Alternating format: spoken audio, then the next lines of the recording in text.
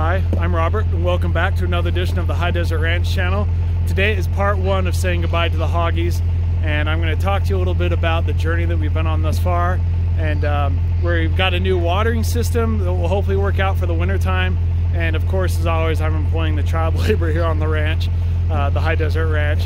So give you a little bit of that as far as uh, how the chores differ in the wintertime. And it's cold. I'm going to put on my little uh, warm beanie thing, whatever you want to call it, that one of the subscribers uh, suggested I do until I get my nice felt hat for Christmas. But uh, come along with us today as we discuss the, the pig's journey, uh, as we prepare to take them to process here on Thursday.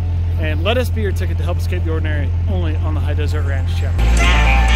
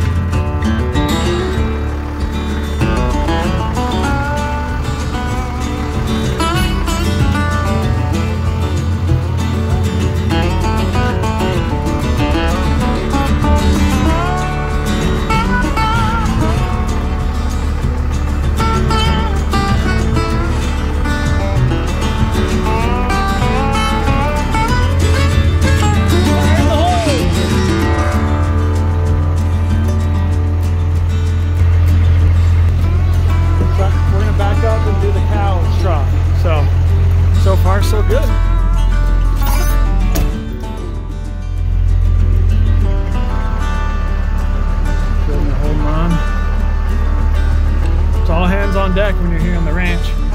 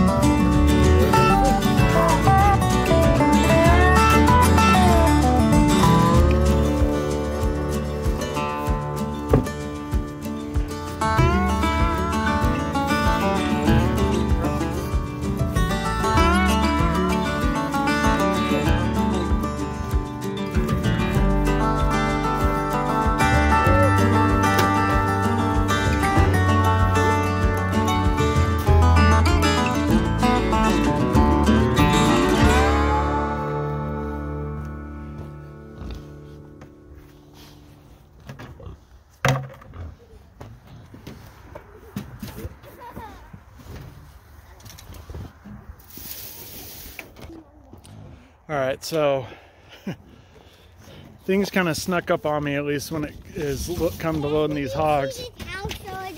We are we are doing uh, our loading of the hogs on Thursday, and as you can see, I've yet to? I've yet to finish building my loading ramp. So that's what I'm gonna be doing tomorrow um, when there's some more light and it's not so freezing. Guys, don't break the fence. But it's um, one of those things that it's a bittersweet moment. Uh, I'll say that much. We we do live in a day and age where people might think that it's it's cruel to to raise these kind of animals for for food, but you know, a lot of people depend a lot of people depend on the the product that we that we provide here at the ranch, and so my grandfather, I think about this all the time, and I even talk to my friend about this, my neighbor, and it's one of those things of my grandfather would say, "Son, if you've locked them up or confined them, it's up, you know, it's your responsibility to take care of them, feed them." And so, where you know, there's a lot of Americans. It's about 170 pounds of meat a year is what the USDA figures per per American of meat is consumed, and a portion of that is going to be pork. And with the rising prices of meat, whether it be beef or pork, uh, whatever, uh, it's a sense of pride that I take uh, and that we take here on the ranch, uh, both Shane and I, to provide uh, people here, the locals economy, with the best type of food and in turn, by supporting local, you do support the local economy. Um, it's one of those things of, you know, we help to put uh, quality food on the table, and then in turn, and support families, and in turn, you support our families here on the ranch by buying that uh, meat. And so, you know, something that my dad also, or my grandpa also said was, uh, if you can make it so your animals only have one, possibly two sad days on the ranch, if you can only have have one sad day on the ranch, you've really done something. And for me, that uh, I think maybe only we're gonna have half a day or one day, maybe two. one day for sure when we were uh, bringing the pigs here, uh, way back when it was a lot warmer. Uh, Carla, I remember that. Back in uh, June is when we uh, first got our load of hogs, and so now it's in November. We're taking them to be processed. Uh, we have 10 that we're taking up north to it's a, a, few hour drive up to Spanish Fork, Utah. And we're keeping one back for a gilt. Um, she'll be bred here uh, first part of the year in January by our boar right here. So, um, so yeah, it's one of those things of uh, we certainly there is some attachment. I mean, when you take care of an animal every single day, day in day out, uh, you are going to get attached uh, somewhat to some extent. And that's the difference between just buying your pork at the store because most people don't think about where their food comes from. And here, uh, you're able to see exactly where your food comes from. Maybe not these exact hogs. Uh, I did have a subscriber. He said he would love to support the ranch, and that's something that we're looking into is having like a ranch store to where we can ship across state lines. There's a little bit of red tape that we have to go through, but um, you know where your food comes from. And that's what's important because i'm not trying to bag other people that raise meat in feedlots or or, or stockyards that kind of a nature. But um, here we try and give like i say our animals the best the best quality of life. Um, as far as adequate pen size and clean conditions and we pride ourselves we pride ourselves on not uh, having any sort of hormone injections or antibiotics because that's what you'll find at a lot of feedlots um, in these places, especially when it comes to pork.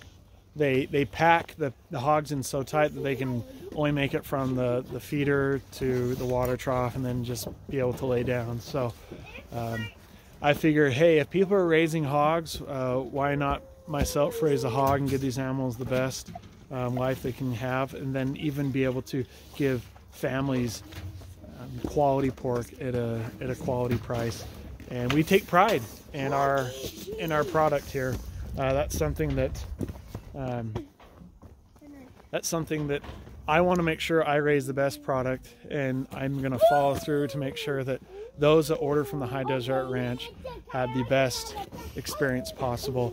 And we're learning and growing. Um, as far as when it comes to the the animals or here on the ranch they we take care of them uh, they contribute towards the bottom line.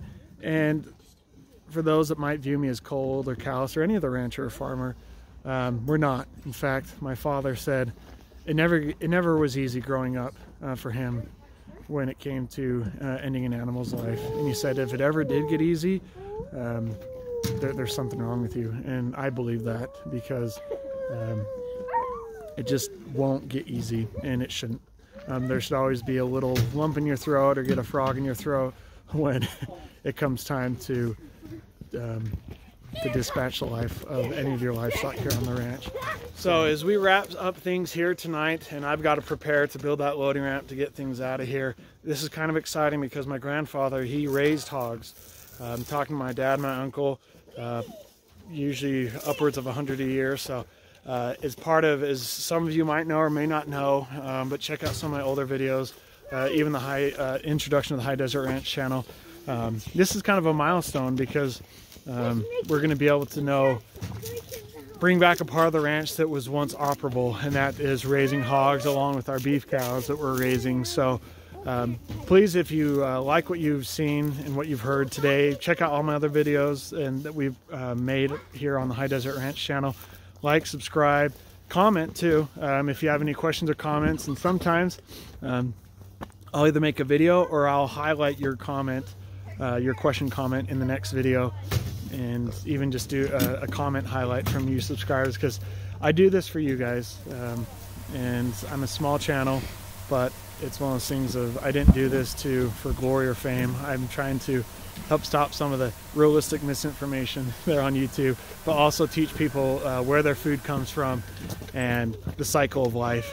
And you get to see me grow and learn because I don't pretend to know everything. I love getting suggestions from people, um, honest, uh, truly coming from a good place suggestions in the comment section here on YouTube. It's helped me learn some things, look into new things, and you get to see you get to learn and grow along with myself and my family. We've got some exciting things, even though the snow and the cold is here to stay, things are just getting warmed up here on the ranch.